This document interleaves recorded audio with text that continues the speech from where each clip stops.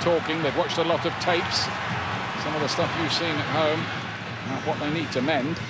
See if they can do it. Zusi to play back. Now there he is. Oh yes, Jozy Altidore ends the scoring drought. And what a way to do it. It was a sumptuous volley.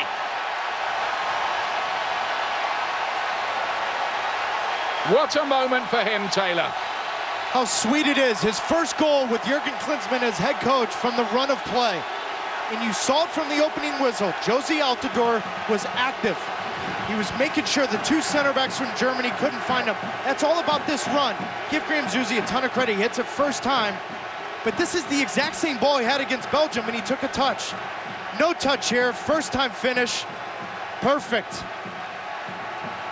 And this... the weight of the world just fell right off their shoulders the moment that ball hit the back of the net.